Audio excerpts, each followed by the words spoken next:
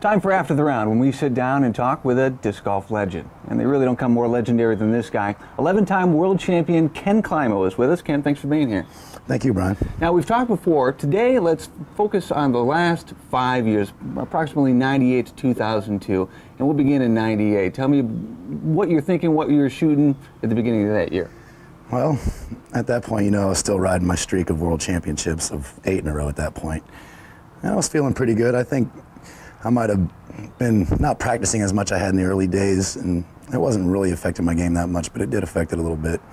And I think that was just due to my choice to rather have longevity in the sport than to bust it out and be done with it. I want to I want to last. I want to play the sport as long as I can. Were you starting to it. feel some some negative physical uh, things going well, on? Just Were you getting a little sore? The one-sided aspect of the sport, you're twisting, rotating, you're twisting your back very hard, and you get a lot of knee and hip rotation. And I've been doing things to counteract that recently in the last five years. I've been swinging golf clubs more and doing equalizer rubber stretches, doing throwing discs, actually throwing the disc left-handed a lot. And I've been equalizing it out a little bit, but in my first 10 years of playing is where I didn't do that stuff, and I did start to feel a little something. So how were you? Uh, how were you shooting? What kind of uh, tournaments were you winning that year in '98? Um, I know you're uh, slowing down they all, bit, They you? all run together. The years run together so much. It's it's hard. But I, I know I had a decent year that year. It wasn't one of my best ones. I had a decent year. I won a few super tours. Uh, anymore, with the level of play that's out there, I'm looking. You know, I'm looking to get in the top four, basically make the final nine type of thing. And if I've done that, I've played a pretty good tournament. and I'm happy with it. Win it, even better. In the years prior to '98, you were touring very hard. You were playing, you know, up to 26 tournaments a year. That year, you slowed down a little bit, correct? Correct. You know, my son's getting a little older. He's uh, he's eight now, and he would have made him four back then. And he's, he's become a lot, lot more part of my life since I'm divorced, and I, I get him on the weekends. Therefore, taking a few few tournaments off to spend more time with him, and that's important to me. So in 2000, you finally did it. You got the 10th gold basket there in your backyard. Yeah, I, it was kind of bittersweet. Uh, 10 is 10 is 10, but 10 in a row would have been fancy. but still, you had to be, you know, gratified that you were able to, yes. to, be, I mean, to be there. Especially at the level of the game these days. The, everybody's picking up their game. There's players that are putting the lights out of it, driving the snot out of it, and just basically eating up the courses you got to stay with that. So let's go on to 2001. That year, uh, now you've you're back on top again. Everyone is once again gunning for you. Not that they really ever stopped, but did you feel some renewed pressure in 2001 now that you had the uh, the title again? No, not really. I I think it made me almost a little more lax because I'd won the 10th one and I'd done it, and I don't really feel pressure that much anymore. It's it's just basically doing it or not doing it. Pressure might come in the last nine holes when it's tight. But all in all, it's it's just about clearing your head, getting a good thought process going. And that's what I've been trying to do the last three or four years now, is just have fun with the game.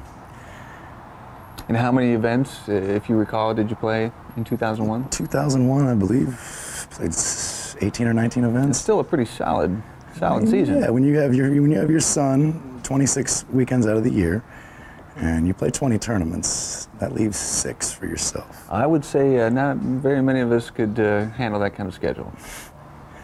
Well, I get my time off during the week sometimes, and that's that's where I get my sanity. I re renew myself, rest and relax, and the rigors of travel travel takes it out of you.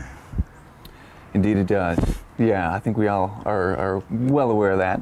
So, uh, Minnesota, 2001. Minnesota. The uh, the year of the heat wave. that was the hottest temperatures I've ever seen, felt, been in. I live in Florida, and that was as hot as I've ever been. My hands wouldn't stop sweating.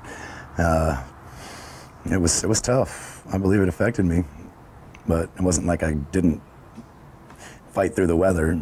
I fought through the weather. I just didn't play my best and I had a really bad round at the wrong moment.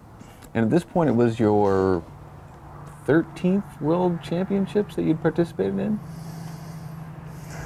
Yes. So you've got more experience than probably any other guy there. Certainly more experience as a champion. You've got the heat to deal with. You've got, you know, new up and coming competition. What happened there in Minnesota? Well, in semifinal round, must you must be referring to, and uh, was Eric Tracy, Steve Rico, Cam Todd, and myself. And I had a unfortunate happening on one hole. I took a quadruple bogey seven or something like that, and basically just didn't play my kind of golf the rest of the way in. And Cam Todd shot an unbelievable round. He was already ahead of me, and he shot just lights out golf. I don't even know if I would have played my best round that round and shot a hot final nine if I'd even been able to catch him. So that, that bad round really only kept me out of the finals, I think, rather than took me out of the chance to win it because I don't know if I'd have caught Cam the way he shot. So are you saying that you let a bad hole affect the rest of your round? Probably a little bit because I, I play to win. If I get second, third, or fourth, that's the same to me. Um, it's a world championship. I'm playing to win. At the point I knew I wasn't going to win, I didn't give up. I just don't think that I focused as well. So you were looking at the big picture, saying, at this point, it's not going to happen for me. Maybe I'll slack off a little bit. I didn't slack off. Or maybe I won't really. play my best golf. Maybe I won't be as. It's not as like I didn't try to as play. I might I be. think that was it. Maybe just a little quick on things. It just it wasn't like I wasn't trying. I wasn't missing on purpose or anything or throwing it into the tree on purpose. I I just might have got a little quick and wanted to get done. So how did you how did you put that behind you? It wasn't really anything to put behind me. I mean, I play so many tournaments. Like I said, the World Championships is just another tournament. It's it's a longer tournament. That's all. It's just another tournament, though, and uh, that's the way I think about the Worlds. I really don't think they're that special of like someone's god because they won the Worlds one year. I just think it's another tournament. I just happen to win that tournament 11 times. I mean, And speaking of 11 times, that takes us to this year, 2002, when you won an amazing 11th world title. I mean, it's just incredible. I, I don't know of any other sport where one player has dominated so many years.